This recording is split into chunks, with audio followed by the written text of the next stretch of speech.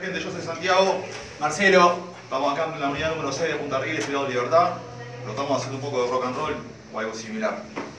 3, va.